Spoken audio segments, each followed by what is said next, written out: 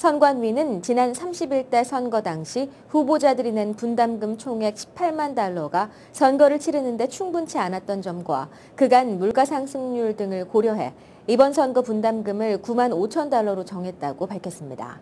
한편 후보자들은 오는 3월 5일과 14일 플러싱에서 각각 1차, 2차 합동 연설회를 갖고 같은 달 7일과 21일 플러싱에서 각각 1차, 2차 토론회를 가질 예정입니다. 뉴욕시 교육청이 교육 예산 적자 위기를 타파하기 위한 일환으로 시내 공립학교에 밀린 학교급식비 수금에 나설 태세입니다. 지난해 가을 학기 개학 후 11월까지 3개월 동안 뉴욕시 교육청이 수금하지 못한 급식 비용은 250만 달러에 달하고 있는 것으로 나타났습니다.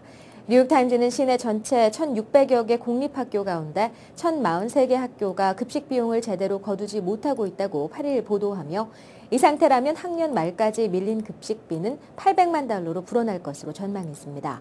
뉴욕시 공립학교는 최근 수년간 지속된 불경기로 무료 습식 수혜자 비율이 늘어난 동시에 학교 영양협회 집계로는 2009년부터 2010학년도 기준 급식 비용이 밀린 등록생 비율도 전년 대비 33% 증가했다고 전했습니다.